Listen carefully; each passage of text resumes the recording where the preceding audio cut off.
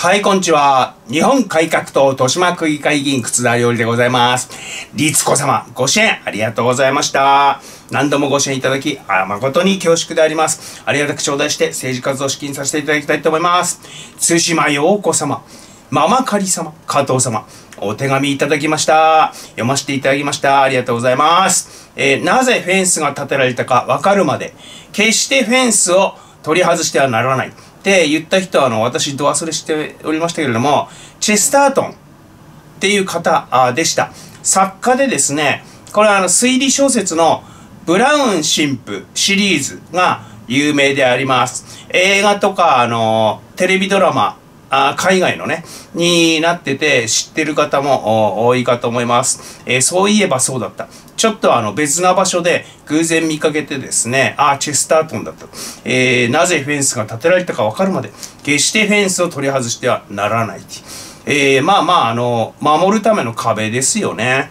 えー、これをあの外してはならないっていう話であります。北海道の地方局、テレビ局ね、STB ニュース報道、札幌南署が札幌東区に住む無職韓国人43歳を詐欺の疑いで逮捕。生活保護受給者であることを隠し、コロナ特例貸付金42.8万円を北海道社会福祉協議会から騙し取った疑いで逮捕と。えー、どのぐらい食らうんだろうな、これな。詐欺って大体一発実刑なんですよね、これね。えー、まあ悪質だという。単なるあのついカッとなって殴っちゃったなんていうよりも邪悪ですから。その確信犯。そのものでなければ詐欺なんかできねえしね。ネットの反応です。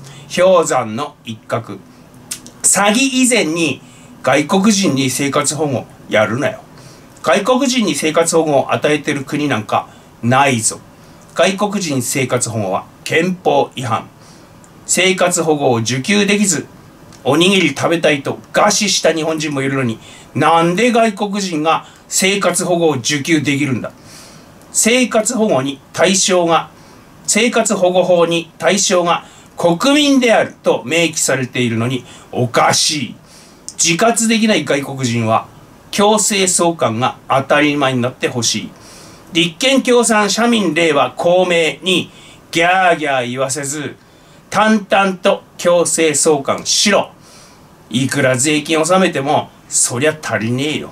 えー、こういうニュースあると、本当にね、あの、納税意欲がそがれますね。本当に税金納めたくなくなっちゃいますね。消費税も納めたくねえから、なるべく消費しねえぞ。物買わねえぞって気分になっちゃいますよね。えー、私のあの、参院選の公約、外国人生活保護を廃止すべき、えー、理由なんですけれども、まあ、繰り返しになりますけど、もう一回ですけれどもね、政治の福利は国民が享受すべきである。これ憲法全文に書いてありますよね。外国人が享受すんのはおかしいだろ。憲法全文に違反してんだろ。憲法25条、健康で文化的な最低限度の生活を営む権利を保障されてるのは国民で住民じゃねえわ。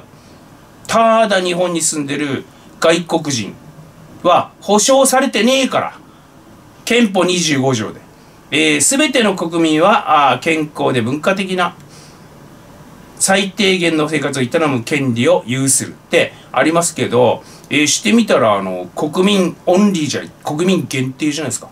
外国人はこんなね、あの、最低限度の生活も保障されていないです。なんで生活保護しなくちゃなんねえの？えー、最高裁。外国人生活保護の法的根拠は、nothing, 皆無、えー、判決済みであります。えー、外国で困窮した日本人の生活を保護する国は全くないのに、日本ばっか不公平すぎんだろ。えー、日本人は韓国で生活保護なんかもらえねえわ。あすぐねあの相談に行ったらすぐ日本大使館に突き出されるのがオチじゃないですか。日本で生まれて日本で生きて日本で死ぬ。一生懸命。一箇所に命を懸ける日本人と違い変えるべき祖国あんだろうが。わざわざ日本にいなくてもええだろうが。引っ越しの自由転居の自由。あるよ。北朝鮮じゃねえんだから。北朝鮮は、村と村の移動もダメだっていうらしいですね。えー、福祉の忠則が一定比率を超えると、その社会は崩壊する。えー、これね、あの、DNA に刻み込まれた心理だそうであります。えー、これどういうことかというと、まあ、村でね、あの、えー、田植えしてて、そのあの取れた米みんなで分けるなんていうところにおいてよ、えー、田植えしねえでサボってるやつ、一人二人ならいいけど、5人10人ってなったらその村は崩壊するって話ですよ。えー、ですんで人間は、サボってるやつは許さない。ただ乗り、フリーライド。ずるして、みんなが稼いだものをかすめ取ってるやつ、許せない DNA になってんだって話なんですけどね。えー、まあまあ、あのー、一定比率超えると、その社会は崩壊するんだから、何よ、あの、自分で働きもしねえやつ、まあまあ日本にはね、あの、働かざる者食うべからずっていうありがたいことわざがあ存在しますけれども、まあね、あの、左翼にこのぐらい理路整然と言いまくると大体黙りますよね。えー、次に連中ね、再起動してですね、しばらく黙り込むんだけど、しばらくするとガジャーンってあの再起動して、人道的にとか、かわいそうだしとか言ってきますんですけど、じゃあお前んちで面倒見る。言い返しましょうね。えー、一般人より責任が重く、何かっつうとあの懲罰委員会やら、東京新聞に書かれてみたりとか、その他いじめられる現職議員の私がですね、議会でも、ツイッターでも堂々とですね、外国人生活保護反対、理由はこれこれ。で、いつの間にか言えるようになってました。私そんなつもりはなかったんですけど、議員になる前も言ってたし、議員になってからも言いまくってるし、でも、あの、あんまし攻撃されねえなえこのぐらい理路整然とバシバシ言うと、え差別だなんだって言われねえのかなって思ったりなんかしてね。まあまあ、あの、一般人とは、あ違う現職議員、私ね。えー、まあまあ、あの、きついですよ、当たりが。一般人よりも、あの、責任取らされるし、発言の。まあ、あの、戸野議員さんも、私に続きなさい。ここまでは言っていいんだから。ここまでは言っていいっていうのを、私が、あの、手探りで、あの、探りますから、私以上にえげつないこと言わなきゃ大丈夫ですよ。差別よなんよって、例えばあの議会に芝木隊が押し寄せたりですね、外戦車で、えー、ギャーギャーギャーギャー嫌がらせされたりとかしませんよ。私よりも、私の言ったことに、なんかあの変にアレンジして付け加えると保証できませんけど、だからあの他の議員さんも続いてください。外国人生活保護反対だと有名なところですね。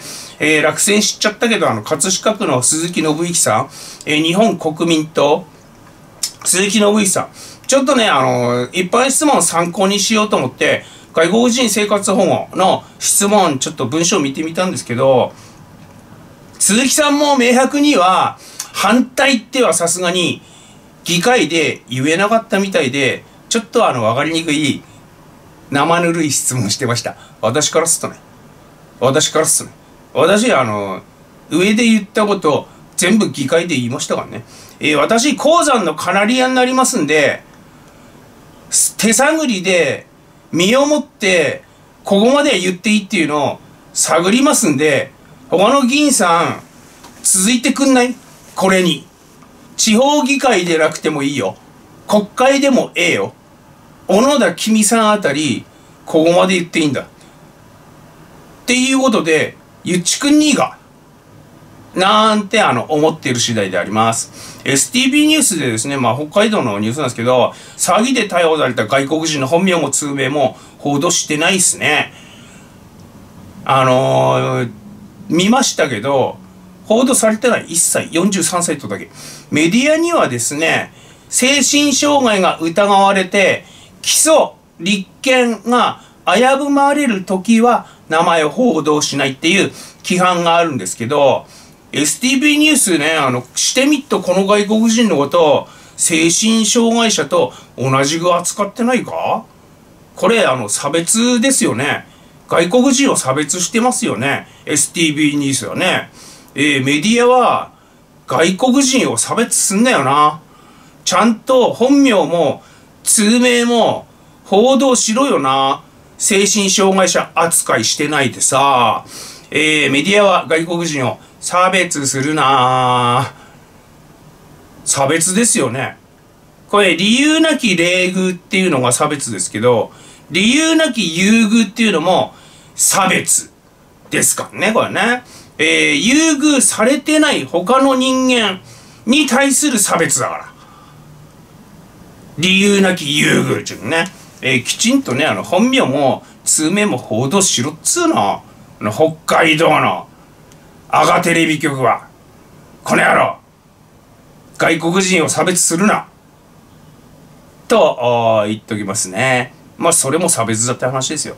内閣府調査発表。米国に親しみを感じる88.5%で過去最高10%ぐらいが親しみを感じないらしいであります。えー、中国に親しみを感じない79%で過去最高2割ぐらいは中国に親しみを感じるもしくはどどっちじゃでもないっていう連中かな。韓国に親しみを感じる。37%。えー、多いんじゃないこれ。多すぎない？日韓関係は重要でない。37.4%。まあ、拮抗してますけど、えー、こっちはあの、韓国に親しみを感じないもしくは、どうでもいいから日韓関係なんかどうでもいいっていうことなのかな。ネットの反応です。中国が好きって20%ってどんなアホがおんねん韓国に交換4割弱って新大久保で調査したんかえー、中国と韓国に親しみってどんなのお味噌してんだよ。37%の韓国好きはまだいろいろ知らないんだろうな。まああの、実態を知らないっていうんですか。建国以来、反日っていうのが国是であるって知らないんでしょうね。毎度だけど、韓国高すぎ。数字持ってないか。こんなもん言ったもん勝ちだぞ。えー、中国、韓国に憎しみを感じるっていう選択肢なかったのかな次ね、内閣府調査すっとき、こういう選択肢も入れてくんない？入れろよ。中国、韓国に憎しみを感じるっていうのよ。えー、中国8割が嫌ってるのに、池袋のね、あの、中国人、多いわ多すぎだわ北口なんかね、とうとうね、看板が、簡体字だけで、日本人読めないっていう店、まあ、食堂らしいんですけど、えー、食堂もできちゃったしね、えー、韓国に交換37%は多すぎます。えー、きっとまあ実態知らないテレビ奴隷の皆さんでしょうかネット一個も見ない、一日中テレビ見てる皆さんでしょうかえまだまだ中止拡散が必要だな。えー、知れば嫌いになっから。知りさえすれば嫌いになっから。受け合いで、えー、請負いであります。えー、元社民党の土佐翼の区長がいるですね、世田谷区、えー、コロナ検査キット無料で配りますなんて宣伝したところですね、区民殺到長蛇の列、えー、今日は2時間45分。並んだとかドヤ顔で言ってるやつもインタビューに出てきておりました。ネットの反応です。密になっとるやんけ、えー、その行列でうずっちまうよね。感染が疑いがある人が集まるとか全滅したいのか。テレビに煽られこのありさま。ケンサーズは頭が弱いからねえー、何がっつうとあの検査検査っていうやつケンサーズっていうらしいですねこれね、まあ、あの、特殊野党とテレビが煽るせいなんですけど、無症状なのに、検査受け受けたがるやつって、バカなのか。ああ、まあ、その通りなの。1個1500円ぐらいでしょ？こいつらの時給は500円ってことだな。この寒空に3時間並んで1500円得したみたいなね、えー、普通に風邪ひきそうという意見がありました。えー、2月中は私、抗がん剤によるですね、免疫低下で外出できないんで、まあ私からするとですね、この寒空の中、3時間も並べる体力が羨ましい限りですよ。その体力、それ以外に使うとこなかったのかな？もうちょっと有意義にな。そんな元気だったら、検査なんか必要ねえだろって。えー、それよかね、あの、必要なの、むしろ知能検査じゃねえの？えー、1500円のあものをもらうために寒空に3時間並ぶって知能検査必要ないのかな？って。えー、特殊雇うとですね、テレビがいくら煽ってるっつってもですね、えー、出し惜しみしねえで、あの、少しは自分の脳みそ使えっつうのよ。って呆れる一方、まああの、体力は羨ましいが、知能は羨ましくない。呆れます。この3時間並んだ人ね。えー、お知り合いとか、ご兄弟とか、親御さんが並んだ、これ動画見てる人は、ごめんなさい。でもまあ、ちょっとおかしいですよね。なんだかね。そんなにしてまで検査しているのか症状ねえのに。おかしいわ。変だわ。って、えー、思う次第であります。よかったらチャンネル登録よろしくお願いします。デトックスジャパン。